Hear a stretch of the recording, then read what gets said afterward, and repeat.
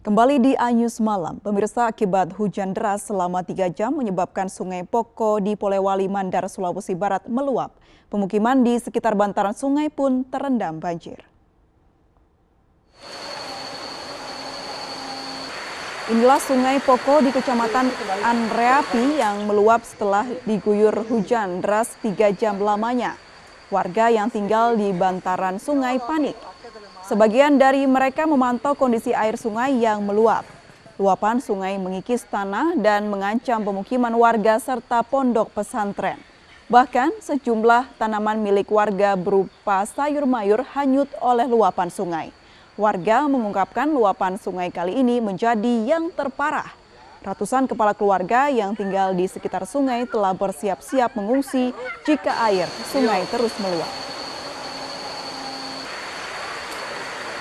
Ini kembali